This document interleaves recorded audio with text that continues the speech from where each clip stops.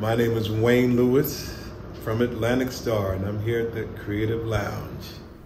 What's going on, family? It's your boy Pop, and welcome to the Clarity Lounge right here at the Kre8tive Lounge. Yep, that's right. In our beautiful state of the art full production studio.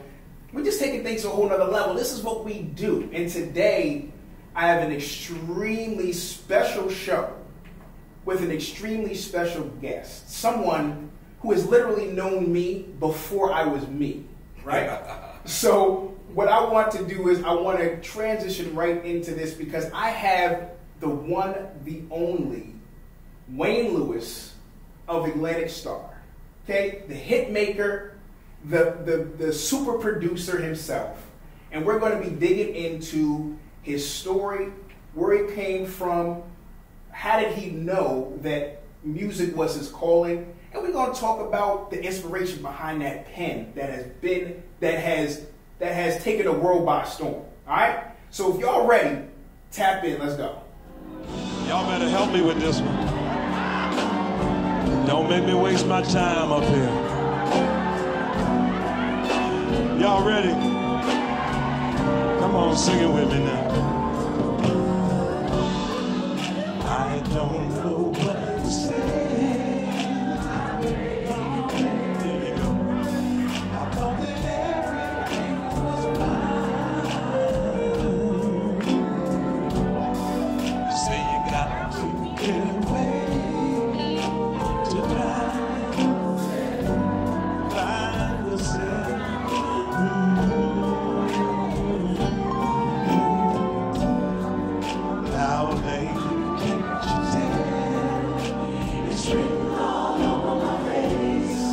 my face.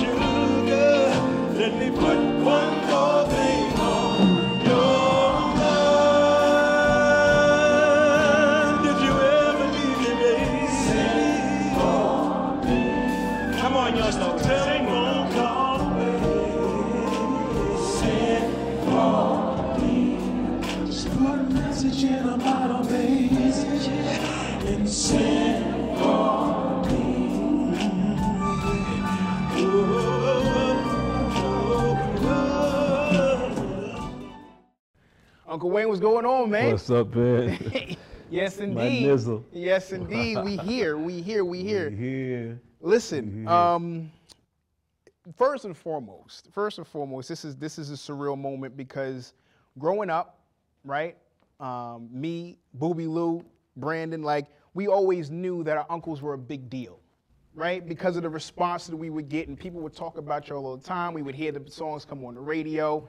My mother was telling me how every time, um, if your if your heart wasn't in it, every time that video comes on, and, and you and you and uh, you and Uncle David have a little tussle, I would I would I would cry and say, "Don't fight, don't fight, don't fight," right? Yeah. So, so it was so I so being growing up kind of when you guys were really really rolling, I just we knew that you were a big deal, but we didn't know the extent of it, right? Right. We didn't know the extent of it. So it's so incredible that all of these years later, now that we're grown, and we look back and we're like, man, like you all like were or are classic, and you all are most certainly a staple in music, period, right? And, and what you guys were able to accomplish was absolutely amazing. So, what I want to do is I want to back up a little bit, right? Native born 914 Greenburgh stand up, right? Yeah, right? yeah. And yeah. you got you you at what point did you realize that music was something that was a gift for you? Well, I can tell you the very first um, story that I, I tell in interviews, the very first um, thing that happened to me was I was, um, I'm going to date myself now.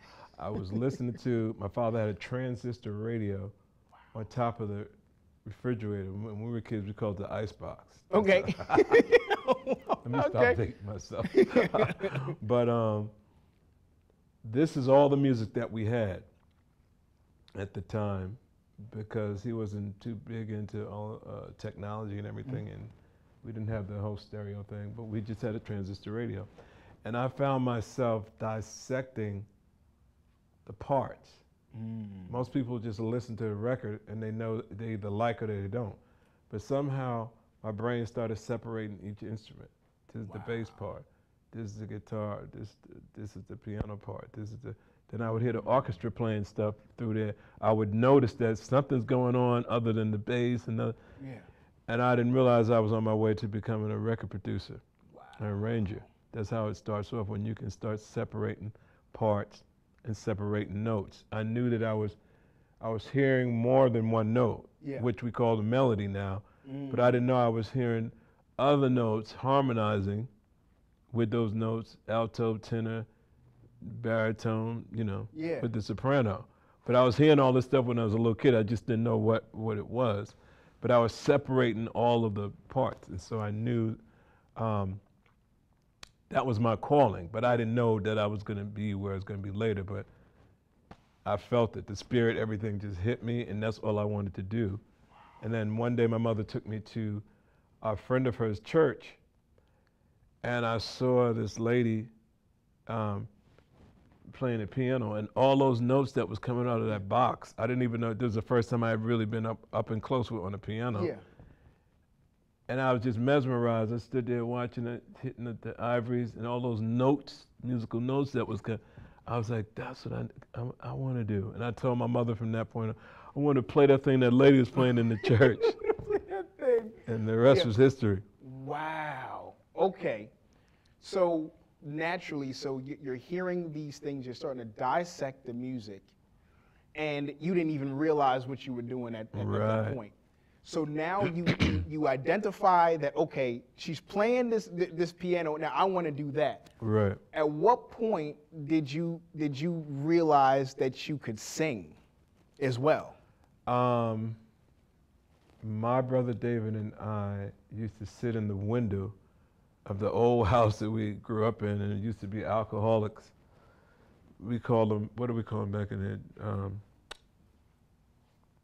winos or whatever we used to call them back in the day. yeah.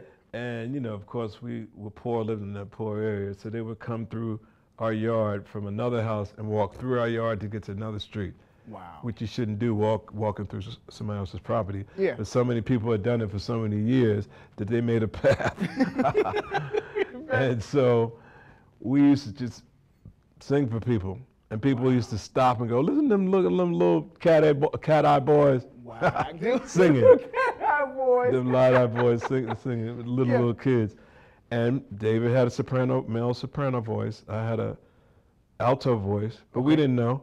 But he would sing melody and I would sing harmony to it, not Yeah. knowing what we was doing, but it naturally, we just naturally harmonized. Wow. And then, so my mother, um, somebody heard us and told us we got to sing in church. Mm-hmm.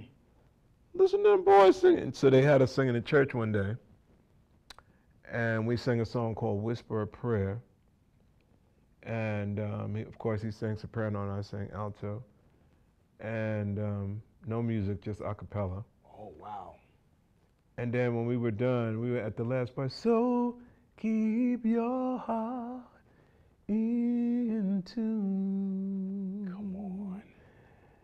And when we sang that last note, we was about to walk away, and the whole church is on their feet screaming. Wow. And but it scared me and my brother to death, me and David to death. Yeah. We were petrified, Yeah. and um, they wouldn't let us sit down. They all pushed us back. No more, more, more. Wow. We were so scared at the reaction, we didn't know what to do. And they told my mother to, to uh, stand up. Sister Lewis, stand. Yeah. And she was so petrified from the reaction that Yeah. she couldn't even stand on her feet. Her legs was like wobbly. She couldn't. Even, Wow. but that was our first taste of audience applause or audience appreciation. But Yeah. we, we had no idea nothing. We were just used to singing in the window when drunkards would walk by. Wow. and wow. from that point on, people started making us do stuff, and then it went from there. To, went from there. So this is so you all are young. So so now you guys are early adolescent.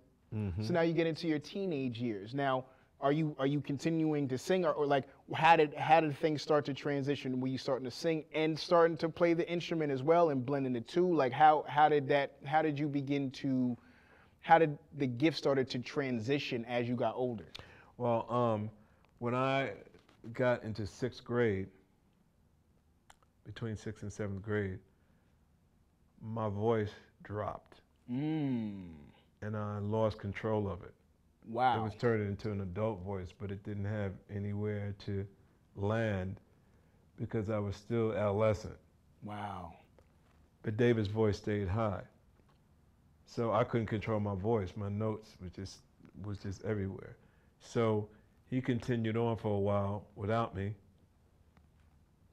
Surprising, I still love him after all that. Yeah. And a man named Mr. Hodson, Brother Hodson from the church who played guitar with a group from Bermuda called the Bermuda Boys, and they harmonized and they, they were crooners. Wonderful. That music was so wonderful at the time. But anyway, he was one of the first guitar players I saw. But then he started to work with David, and when I tried to sing, he couldn't really work with me because my voice was all over the place. yeah. So David went on a while uh, to work with him for a while. and that's, I think, around the time he did uh, Ted Mack's Amateur Hour Okay. and won and started getting known and started, but what I remember when I was in school, um, they had a concert, I think, at the, at the school. And jealousy came over me. And this is how I know the two spirits are there yeah. the evil spirit and the Holy Spirit because the evil spirit start instantly came over me to make me feel jealous. But the Holy Spirit came over me and said, just pray about it. When I was just a little kid, Yeah. well, we wasn't as little as when we first started off, but I was very young. And um, so I prayed and asked God to take the jealousy away from me. And before I could even finish praying, no more jealousy. I stood up there and watched it, watched them perform Yeah. loved it, clapped. It's so it's so amazing hugging him how how great it was, Yeah. Yeah. And that's why nobody can't tell me that that the the, um, the Holy Spirit and the evil spirit both are not very well alive and well. Pronounce. Yep. And Yeah. then when we went on from there, um, my piano teacher saw him on Ted Mack, and she and she asked, did he want to take piano lessons? Okay. And he started with her. And a year later, she asked, was there anybody else in the house? Would, would, would, because she met us and so it was a whole bunch of us. Yeah. And she wanted to know if there was somebody else who wanted to take piano lessons. And I was, me, me, Yeah. me. Yeah. Yeah. Because I remember from the day I told you I saw Yeah. the lady playing, that's all I wanted to do. We do. do. Yeah. And God was testing me then because he was getting all the opportunities. Mm. But then I was just following him, loving what he was doing, and then Yeah. God opened up a way for me. He told her to say, "Is there anybody else in that yeah. house?" Yeah. Who wants to? And wow. there I was, and took advantage of it, and took piano for about 11 years. And then, because we studied with her, with her we studied classical music. Okay. Okay. So what that did was taught David and I, um, because we grew up, our, our roots is R&B and gospel. yeah. But from that radio, we listened to the Beatles. We listened to all the Motown. We listened to everything. So country western, everything. So by the time we started um, going off on our own, we had a background that was every genre. Yeah. So we could arrange the classical music and everything on top of our R&B Wow. music ourselves. Wow. Because we studied classical. Jeez. Yeah. That that's a, so. Now, so you guys are literally building your tool chest, if you will, of, of musical instruments, of Mm-hmm. arranging, and, and and so you're you're kind of starting to find yourself. So so you you said that once your voice dropped, it was difficult for you to be able to control it. So at what point in time were you able to kind of get the reins, if you will, or get control back over your voice now with the lower, you know, now that your voice was lower? In high school, Okay. it started coming back, and then we formed a group called Unchained Youth, Ah, okay. and uh, that's where our songwriting started. That's the way we started really getting our skills together, not only taking classical piano, but how to work your instrument pop style, where you put the right chords together. And then I started becoming a lyricist, basically like in sixth grade, and then went to seventh, uh, uh, seventh grade web school in Hartsdale, and then on to Woodlands for the high school years. By the time I got into Woodlands, I was already writing lyrics. But um, I had to get a thesaurus and look at other poetry and then learn how songwriters actually in the music business wrote songs and develop learning the A section, the B section, the bridge, the choruses, what they were. And then I took all everything that I had learned and started writing pop style, and then that's how we made started making hit record formulas. So hold, so hold on, hold on. See, stuff like that fascinates me because we're talking before YouTube, we're talking before internet, we're Right. talking about before any of that stuff. So you literally had to had how did you learn? Like where did you go to? Was it the library? Like where did you go to start to get these resources to start to learn how to how to how to you know studying poetry and and and and uh, what did you how did you go about the process of learning how to do that so you could start to write or or and and also what inspired you to even start writing? Um, well, what inspired me is I, I had a lot on my mind, and I had um, my, I was very um, adventurous. I could, I was always a loner who could sit there without nobody being around me and, div- and just be in my own world. Very creative and always just had a crazy, ima- wild imagination. Yeah. That's when I when I read that book where the wild things are. I was like, oh, that's me. Opened up my house, and it turned into a whole forest, sitting there by myself because we didn't have uh, money and, and things to do, so we Yeah. had to develop our own little, go into our own world. Imagination, yeah. And then as I, um, again, um, I used everything that I saw, I used to download it. It could be people talking, it could be the way people are moving, it could be how people are dressing, it could be foreign languages, people speaking with accents. I'm picking everything up around me, I'm picking up, and I used to wonder about everything. How do you do that? Why do you talk like that? Who? What is that? What is Yeah. the, you know, birds, bees. I walk through a forest and want to stay there all day. So fascinated about everything going on in the forest. So I had so much on my mind to write about, um, and I used to just write it down like poetry. But then I found out in that when if you're going to write a song, it can't just be loose like a like poetry. It has to have a structure. Mm.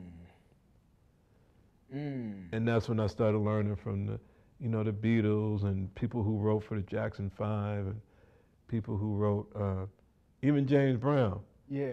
He wasn't saying a lot, but he had his sections, Yeah, yeah, yeah. You know. That's right. A, B, C, and and and the chorus and the bridge and the, take it to the bridge. You know, Yeah. what's the bridge? Oh, that section, that part. Uh, Ah. okay, and what's the chorus? Oh, the chorus is the sing along that you keep coming back to every time you go to the verses. You know. You started putting the pieces together. Right. You started putting the pieces of the puzzle together. So this is high school. You start putting the pieces of the Yeah, puzzle together. yeah. So so you got you you all formed Unchained Youth Mm-hmm. in high school, Woodlands. Shout out to Woodlands, and you started to write for your group. Right. Okay, so now are you guys performing at talent shows? What what what? what how did you guys start to kind of get your names out Exactly. there? Talent shows, battle of the band, uh, somebody's wedding if they paid us. Okay. yeah. Uh, wherever we could we could play, and Yeah. um, because it was just honing our skills. Yeah. And then we would rehearse a lot, Okay. people's Okay. basements, um, mostly in the drummer's basement. But then we'd go. Uh, sometime other parents would let us come into their house. Yeah. So we'd lug our equipment, and you know, we were into all of the what's the latest equipment that came out, what kind of keyboards are out now, and what kind of. And it's crazy because that was a whole life. Now everything is, Yeah. you know, just push a button on the computer, and and musicians don't even get a chance to fall in love with different keyboards and and different instruments, and which is a way of life. Yeah. You know, um, your instrument was your baby. Now um, things are kind of sterile. You don't get a chance to live the music. Yeah. It's sampling what somebody else did, throwing an 808 kick on it. And then nobody's studying lyrics either. Nobody has anything real to say. Everybody's trying to make sure that they kind of um, not be different than anybody else. Everybody's kind of saying the same same thing. I'm glad you said that. One of the things that I value about your era and even my era of music, it was it was that being different, being unique, having your own style and presence was paramount. To sound like somebody else, or for is for someone to even say that you sounded like somebody Right, else, was was, was offensive Was, offensive. Yeah. right? Um, and so you now coming from that era and now seeing kind of where music is now, where do you think the collapse happened? You know what I mean? Like, like what, what, what do you think? What do you think happened between you, where, where, like you, because you all, like you said, were were were musicians, right? And even Right. still, you all are musicians, right? You guys, you you you all understand the actual music, students of the actual music. And now this is now not saying that there's no one like that now, but you've been around music long enough to have seen the progression or, or, or to have seen the transition, I should say. Right. How would how would you kind of what do you think or why do you think music now is different than it was back then? Well, first of all, um, and I don't want to be negative. I'm only trying to track back to see what, what happened. And I think um, a lot of it is like it started to go to the streets and people started really expressing what's going on in the streets. Um, and that was it. There was no Yeah. need to study music or take, you know, travel anywhere, go, you know, to see what Beethoven did over here, to see what country western uh, artists did over there, to see what's going on with the gospel roots, to see everything was about the streets. Yeah. And then that became a young fad, and it stayed because of money. And the record companies were saying, well, if this is where all this money is coming in like this, we don't want to put money into nothing else, talent, uh, music talent, whatever. We want to keep it all right here. Yeah. So it kind of stayed there. And because nobody was really traveling outside the hood, the only thing they could talk about is the hood. And the only thing that was going on in the hood is, you know, What they talked about. and Yeah. Yeah. Then making babies and the whole thing. So that's what, that's what they talked about. Yeah. And then in the time when nobody was getting married no more, um, you know, no more families, no more anything organic. Yeah. Yeah. And then technology came in and topped it all off. Now, I, I remember talking to young people about, you know, playing instruments and the whole stuff. And they used to look at me like, why are you doing all of that when you could just go to the computer and press a button yeah. and a beat will come down for you? yeah. Yeah. You know how, why you t- playing the bass and the, and the drums and all that stuff? And I've even seen um, youngsters not even know what the name of instruments are. Like if you show them a sax and you go, "What is this?" I don't know what that Wow. is, or whatever. But Yeah. they're calling themselves musicians, Music. Yeah. but they don't know nothing about music. So, um, you know, uh, my friend who had a record dealer on the same time I did at Capitol Records was telling me he went to NBC um, to do a segment or commercial or something he was doing there. And I think they were like on the third floor or something. And these kids went in there and they saw this drum set um, set up in the room for a session. And this kid called the other kid back and said, Yo, yo, yo, come here, look at these joints, man. Look at them joints. them is some like some dinosaur joint set up right there. You mean you mean people that's playing them S's, S-H-I-T's? Like, yeah, it's like they couldn't understand it. Yeah, they good, yeah, they, yeah. And um, they didn't even know what to call it, the drums. They just said them joints, what, that's what they make beats, They used to make beats on. Wow, man. See that that that's I could I could I'm not gonna I'm not gonna unload on I'm not gonna unload on that. But I just just interested from a musician's perspective. So now, let's let's. But go no, I, I want I Oh, want to clarify. Yeah. I'm sorry. I don't I'm, I don't want to come here and say that there's not a a great story to tell from the hood. Yeah. I'm not saying that. Yeah. Because there's been some very interesting, creative, great projects that came from came from the hood. Yeah. We came from the hood. But I'm saying um, what what happened was it it um it kind of put a damper. It kind of smashed people down from growing and going to other places in the world and checking out how the other half lives and Yeah. learning music and learning instruments and technology came in and put the icing on the cake. Mm. So now none of the kids in the hood needed to go out and study any, any, any music and especially anything that had anything to do with anything that wasn't hood, Got you. Yeah, got you. you see. Got you. And yeah. so, but then um, that's that was by design, but that's another movie. Yeah, that's another movie. but, I, but I'm glad you, you, you mentioned story. We're we gonna come back to we're gonna come back to storytelling because I, I want to touch on that too. So now you're in talent shows. You got you're writing music in high school. You guys are rehearsing. You guys are making a name for yourself. Now, tell me what then happened because now you guys have your group. You're writing. You're you're you you- you're in your your your writing bag. You're in your you know your musician bag, right? Got control over your voice now. I'm sure that you all were starting to get some buzz locally anyway. You know, as you were doing these talent shows and and and, and you know and um, you know open mics and things along those lines. So when did you decide that you guys were going to take this on the road?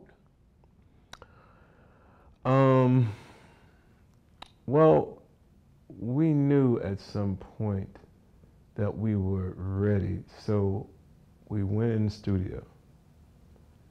And I think I was 13 when I first Wow. when I first went in the studio. So we started making a lot of demos all through high school. And then um, my brother Jonathan was in a group called Newban. And some of the members from another group up up the way, up the hill in Greenburgh, we call it up the hill because they were from houses and we were from the projects. but um, they were called um, uh, what were they called? I can't even think of the name of their group right now. They'll kill me if they knew. I couldn't even say the name of their group. But anyway, um, Sharon Bryant came from, and almost came to me again, another group in Greenburgh. And me and David came from Unchained Youth. And then we joined up with my brother's band, Newban hmm um, that had Porter Carroll that Mhm. became Atlantic Starr's drummer, and Clifford Archer that became Atlantic Starr's bass player. Duke Jones became Atlantic Starr's trumpet, and then F- Joey Phillips became Atlantic Starr's percussionist. Sharon Bryant from the name almost came to me again.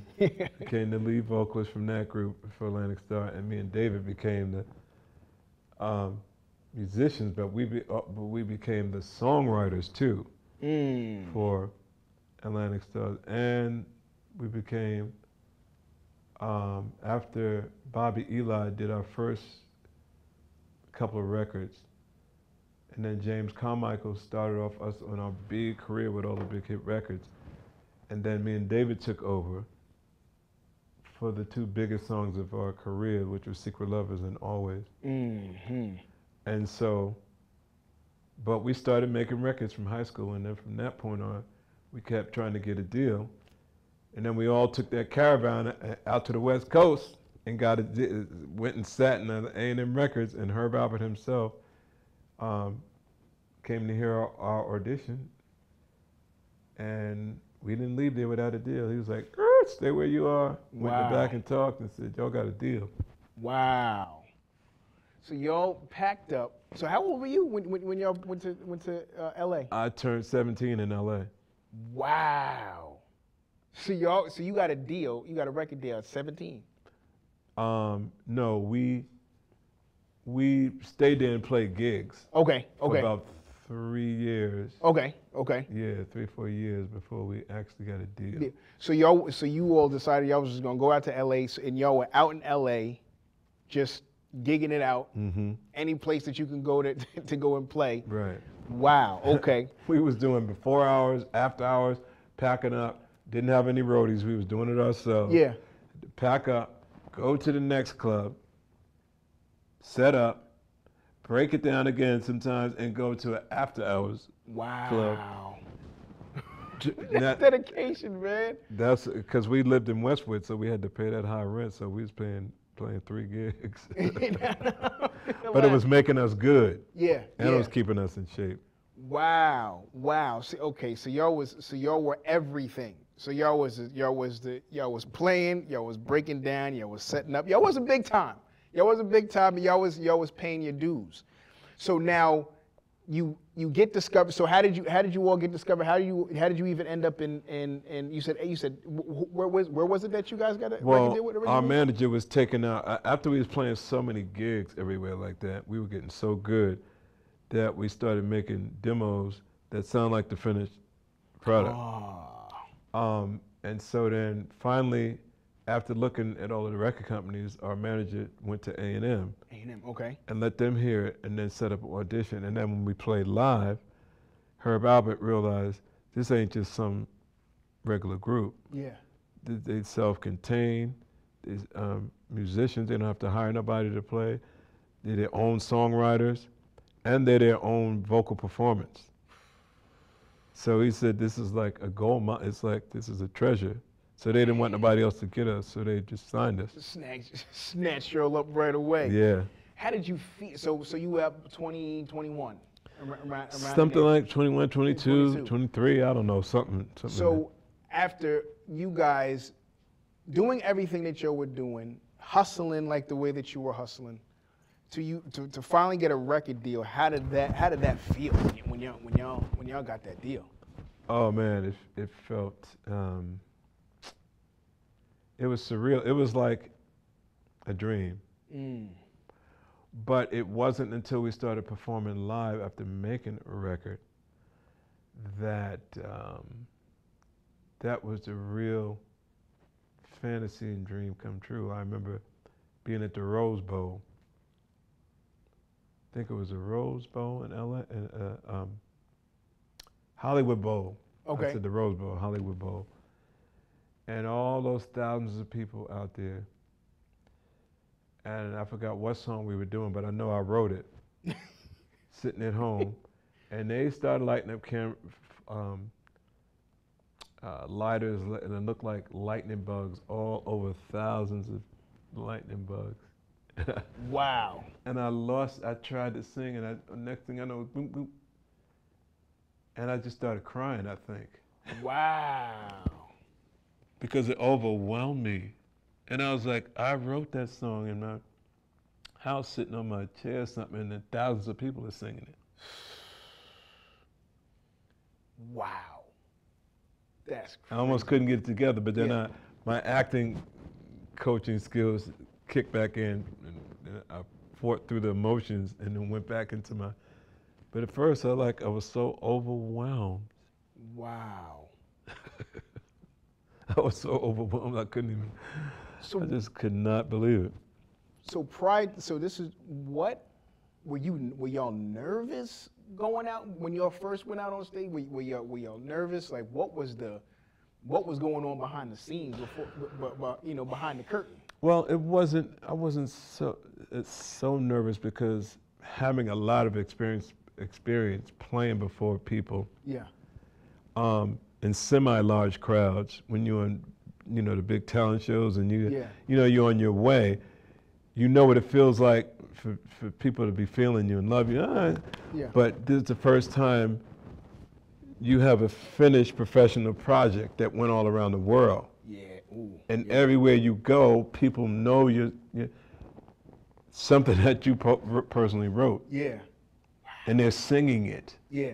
First, you were just singing it. Uh, no, let me change that word. to- Then you know, no, no, mm.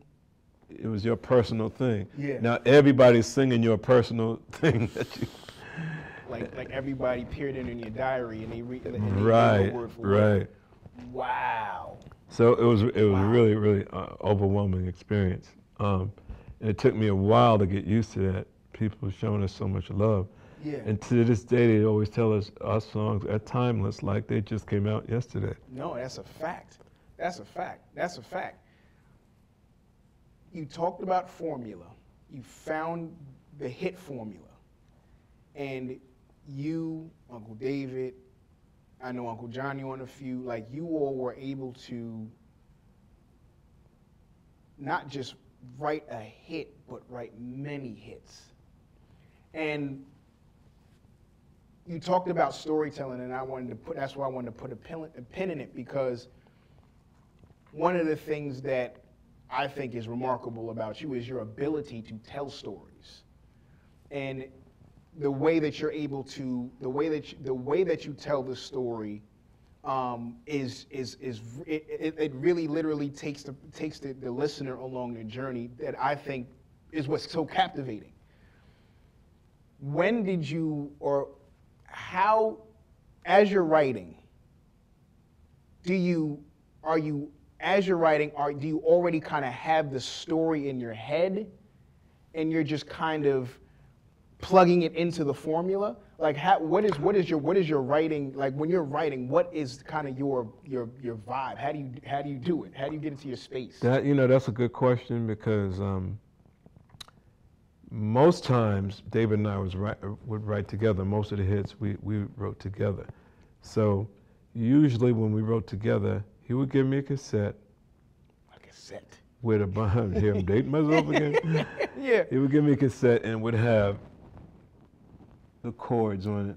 Mm, dun, dun, dun, dun, dun, and then he would put a bass line, doom, doo, doo, doom, doo, or whatever Yeah. on it.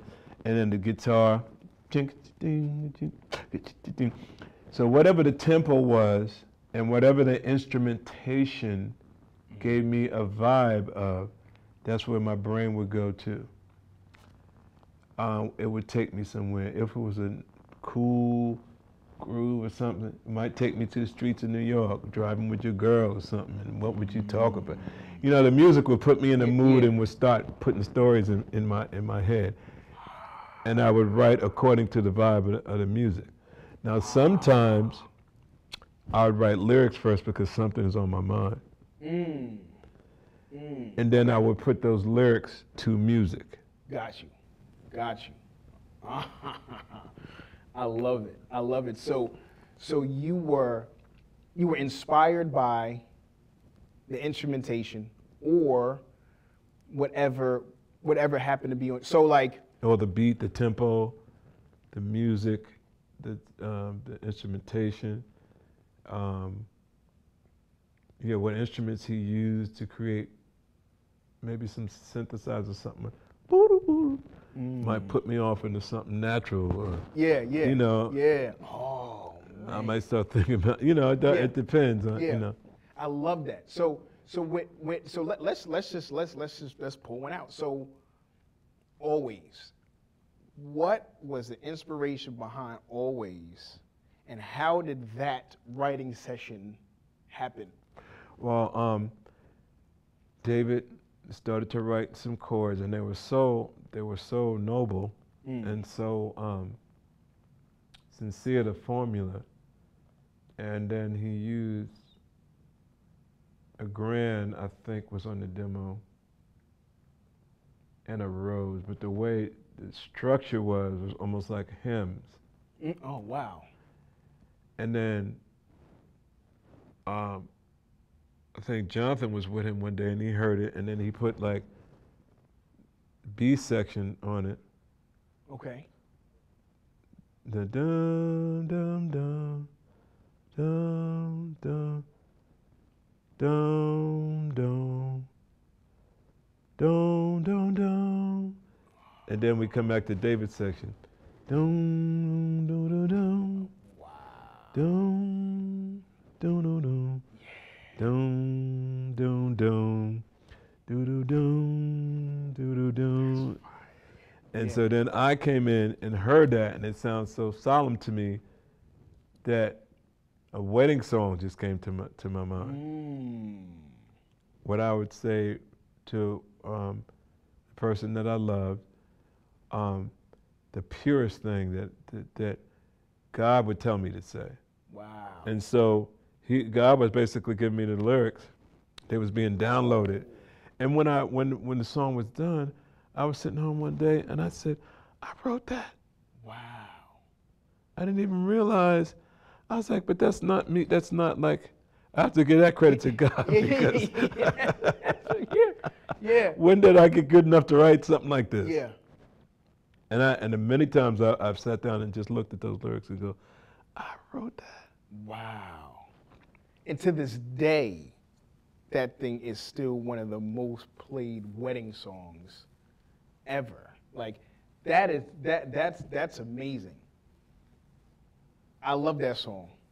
And now let me I, I want I want to clear while we on songs because I'm gonna go to my favorite song literally of all time. Of all time. I mean across all genres. and we're gonna go to that. But I want to talk about I, I want to clear the air about secret lovers. I always thought, and I'm your nephew, and I've been hearing that song forever and ever, amen. I always thought it was about someone cheating.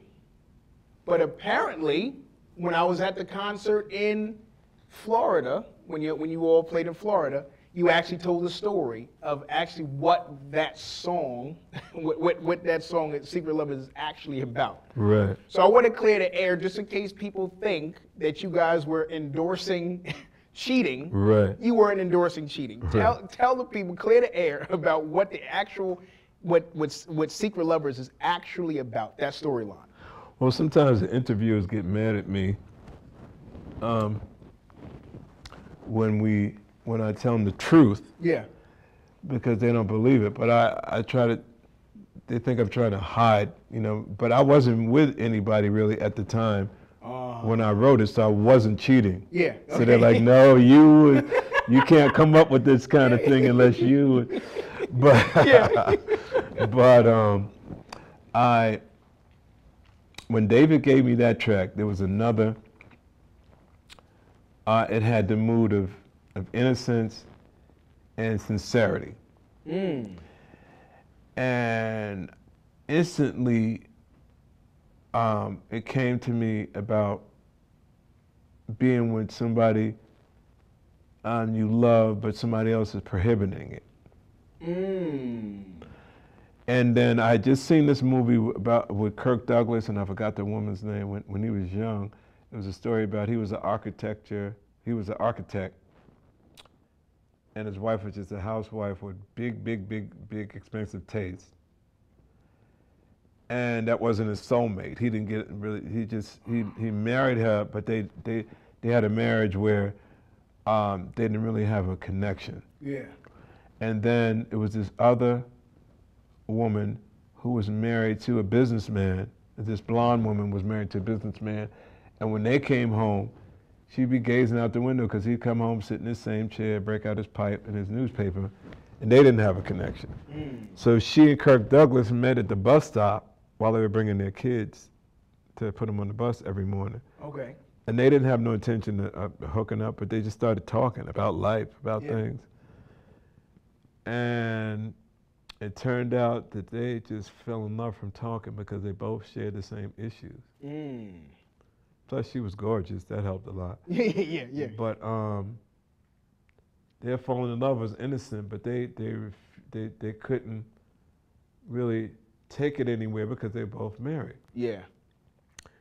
But I was so deep into that movie because I also was hoping to become a director one day. You know, I loved film and I used to do um, school plays and I thought I was going to be doing off Broadway and stuff like that. So I also acting was another field that I was trying to get into besides music, but that's Yeah. another movie.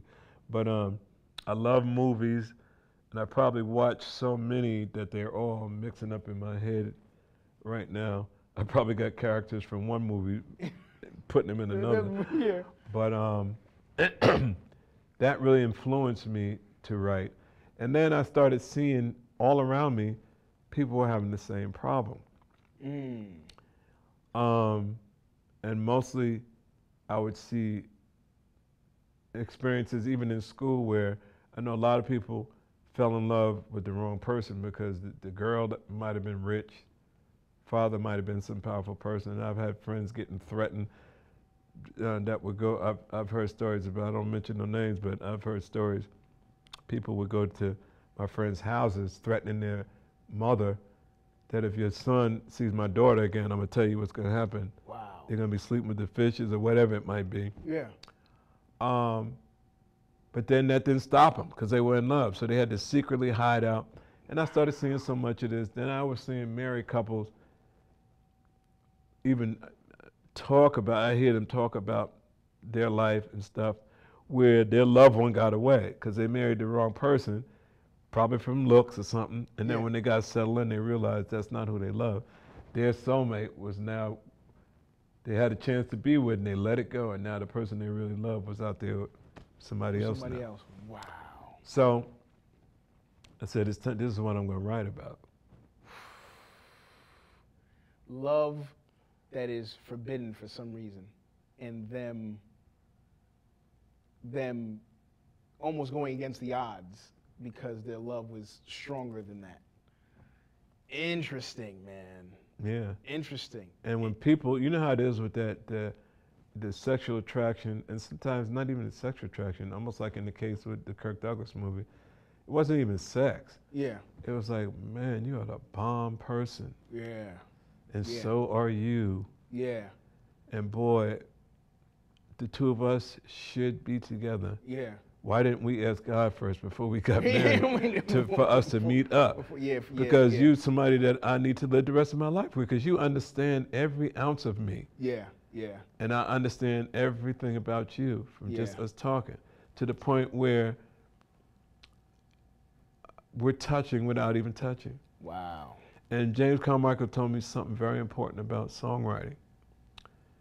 And you know the great James Carmichael, he produced Lionel Richie and he produced all the Motown stuff and he produced every he produced us, one of our um, biggest songs before me and David ended up having the two biggest songs. But um, he said, let's analyze Marvin Gaye's song, Distant Lover. That's my joint. He said, you know, when he talked to Marvin and, and got into his brain about, you know, songwriting, and he was telling him, you know, a distant lover could be somebody that you love so much but you can't get to, like a lot of people have these jobs where you might be an actor and you might be over in this country doing this, Yeah. and I have to be over here doing that. We love each other, but it's so hard. You're, you're at a distance, and I want you so bad, but I can't get to you. Yeah. Or a distant lover, one could be sitting in this chair, and one could be sitting right there in the next chair. But because our love is secret, you are so far away. Wow. Wow. And I'm uh, and I, I love you so much that I almost don't care who's here. I almost want to touch your hand because I can't take it, your energy.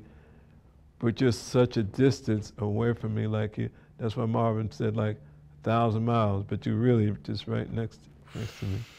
And I said, that's what I love about great songwriting. Yeah, And nobody's yeah. doing that today. Yeah. Wow. That's deep though. Because it speaks to someone's innermost thought.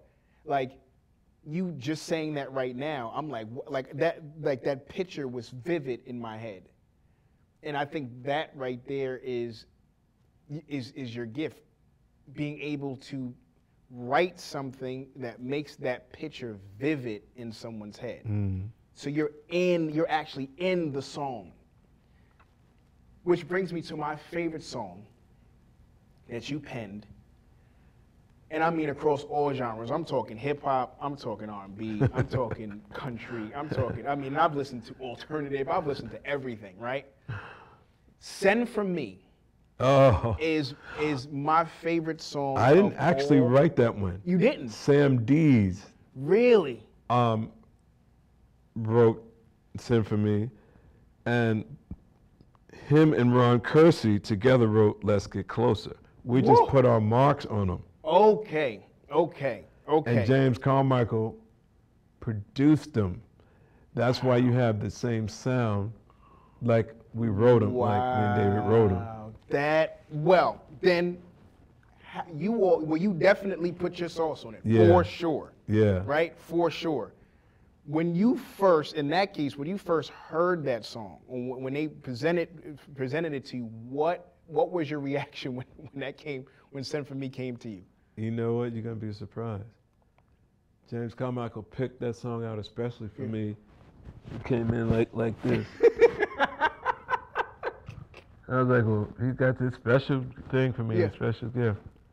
So I thought when you know when he opened his arms, it's gonna be a Ferrari. or- Yeah, something. yeah, It's yeah. like, you, you know, you can't get this smirk off your face about this special song you got for me that you had this dude you picked from his thing just for me. Yeah. So when I heard it, um, I had a blinder over my eyes and over my ears What? Because I had another song that I wanted to do so, so bad that my mind wouldn't even really let me listen Wow. to that song. So I didn't really want to do it at first. Really? yeah. what? I That is told him, crazy. no, I don't want to do that. Even though it sounded pretty good, but I, my mind was so set on another song Yeah. that I had written that I wanted to do. And he told me, Brother Wayne, save it. Save what you got. He said, because this, he said, okay, he said, I guess we can't talk talk about it. He said, so I can only ask you one thing. Can you just trust me Mm. on this? You trusted me for all this other stuff, all the other, you know, hits. Yeah. If you just trust me on this, I promise it's gonna be your trademark. I'm like, nah, he's talking trademark. now you talking What does this dude thinks he knows everything? Ah. Oh boy. Then when I finally came to my senses and said, okay, I'll do it. And then when I went in, I remember back in, in, in those days, I used to like a little beer every now and then. And I think I had a Bud, Budweiser or something. I went in, went in there, and all of a sudden, those lyrics made sense to me out of just nowhere, just boom. And then the spirit just took me, or the vibe just took over, Yeah. and boom, there it was. And he, I think they got it in the first take, even though they made me do it a few more times. You always Yeah. got to do it a few more times. But what he's explaining to me, it was that it was, it's not your performance on, the, on this song doesn't mean like you, you know, you you sing like Luther or Stevie, oh, all over the place, you know, riffing every, everywhere. But you, your signature of you were, did something on this record that nobody else is ever going to be able to to do. The outcome, the vibe Yeah. of the outcome, you'll never be able to do get this again, and nobody will be able to come after you to try to remake this song. Not at all. Even if they sing way better than you, Yeah. Nobody's gonna be able to create that vibe. And now that's how I knew that this man is the genius that he that everybody's always said he was. I just wasn't willing to accept it. Yeah. I was being stubborn because I had something else that I wanted to do. but when I cleared my mind Yeah. and started singing, it's almost like you you grow up in church and you're singing hymns, and you've been singing these hymns for, for 30 years. Yeah. And then one day when you're going through something in your life, all of a sudden that hymn comes up and every word clicks in now. You can relate to everything and you start praising God going, Lord, now I see what these old Now I folks are saying They, what they was talking about all along, man. the whole time. So that's what happens if you open your mind and open your head up and see what's there, you'll see that the lyrics, this song was picked for a reason. Yeah. Like, oh my God, this song, this is gonna make me, Yep. and it did. Everyone, I remember we were in, and then we got a, Yeah. Uh, but I was in Chicago at this big cookout. And I remember this lady came up to me and said, I always said, when I met the man that sang this song for Yeah. message in a bottle, because they don't call it for me, they always call right, it message in a bottle. Rest in the bottom. She said I was gonna slap him. and then we was all laughing, and next thing I had was bam. Oh, she, she, she slapped you for real. She slapped me for real. Wow. And everybody said, oh, curse word. oh, curse word. And I looked at her, and then she caught herself and said, oh, I'm so sorry I did that. She said, I lost myself, but I've been holding this in for years. wow. and that's how I knew. that was it. That was it. That was it. Uh, listen, but okay, so just two more things and we're going to wrap up. One, what is your favorite song that you wrote or that you or that you performed? What's your favorite song out, out of your out of your catalog?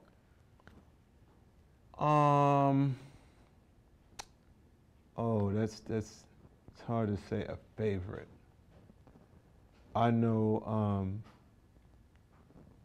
when I heard the outcome of when we finished when Love Calls, I was very pleased Okay. Yeah. because Chaka Khan was my girl at the time. And so when I wrote for another girl, a lot of Chaka's influence kept coming through my brain. Yeah. And so when it came out, and people were like, "I love it. It sounds like y'all, but it's like almost reminiscent of, of, of Chaka." Then I knew that I did what I, You was- you know, was on- was you was supposed to do. Yeah. Um, and then of course, Send for Me became as I did it, and I was getting a reaction from it. I was like, that was my jam. yeah. but one of my all-time favorites was, of course, was "Am I Dreaming." Mm, yeah. That's that's Yeah. solid.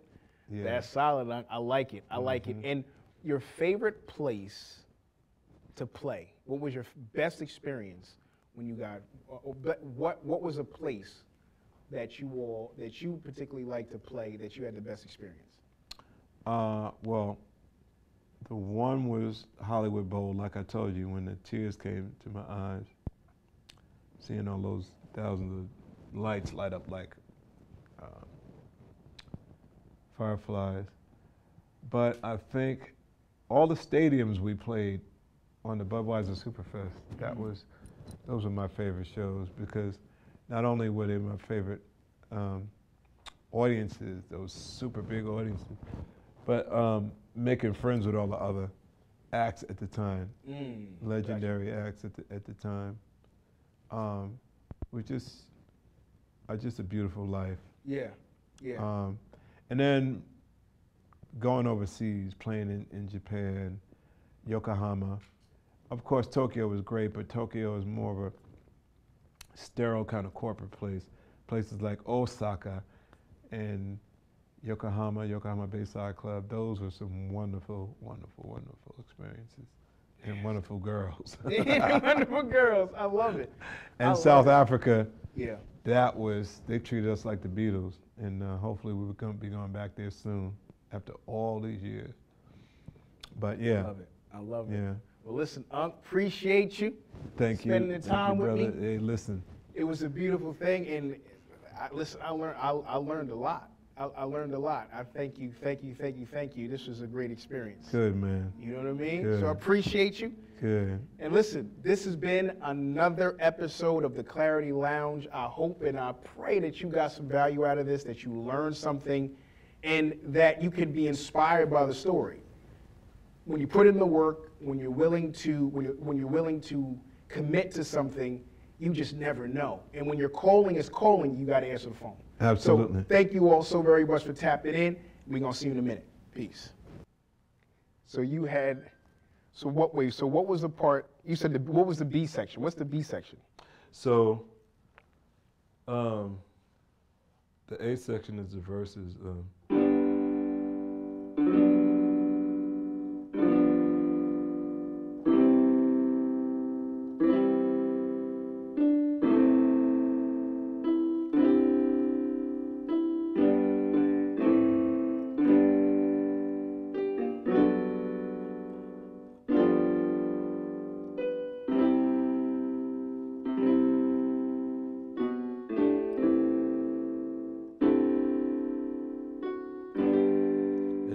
section is.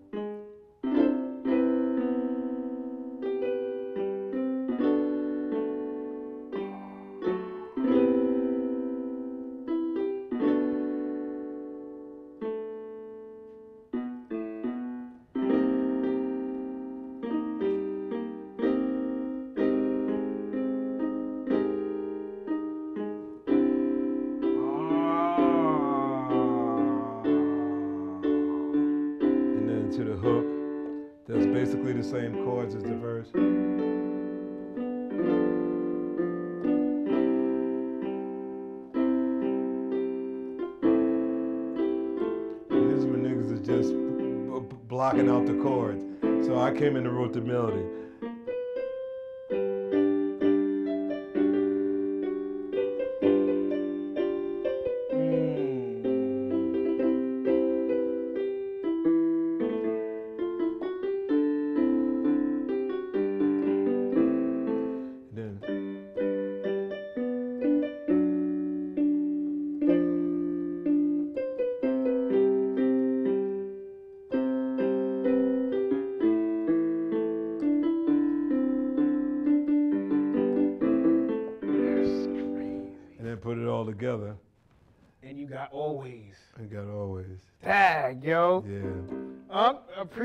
Man. appreciate you. Appreciate you. Yeah, that's dope. That's Hey. dope. That's dope. That's, That's what dope. it is. And we rap.